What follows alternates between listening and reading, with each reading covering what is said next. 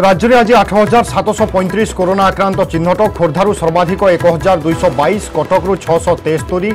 ବାଲେଶ୍ୱରରୁ ପାଞ୍ଚଶହ ଛଅଷଠି ଯାଜପୁରରୁ ପାଞ୍ଚଶହ ସାତ ସଂକ୍ରମିତ ସେପଟେ ଚବିଶ ଘଣ୍ଟାରେ ସର୍ବାଧିକ ସଇଁତିରିଶ ଜଣଙ୍କ ଜୀବନ ନେଲା ମହାମାରୀ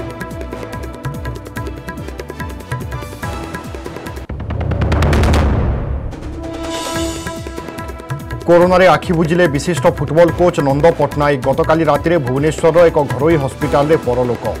রাজ্য পাই অনেক অন্তর্জাতীয় খেলাড়ি সৃষ্টি করেছেন নন্দ পট্টনাক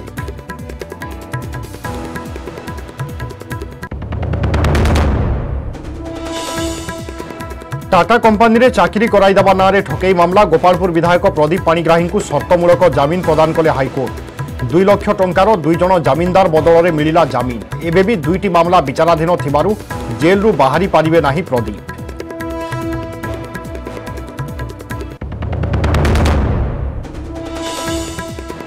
আজিঠ রাজ্যের লাগু হল তৃতীয় পর্যায় লকডাউন সতেরো তারিখ সকাল পাঁচটা পর্যন্ত বলবত্তর রহব কটকা নয়াপড়া গজপতি এবং সুন্দরগড়ে দিন গোটায় যায় কটকা কোহর নিত্য ব্যবহার্য সামগ্রী সহ সবু দোকান খোলা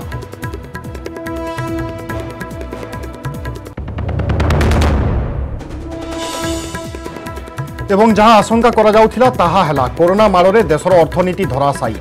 দুই হাজার কোড়িয়ে একুশ আর্থিক বর্ষে অভিবৃদ্ধি হার মাইনস সাত দশমিক তিন প্রতিশত চারিশ বর্ষে সর্বনিম্ন চতুর্থ কোয়ার্টরে জিডিপি এক দশমিক ছ প্রতিশত সামান্য বৃদ্ধি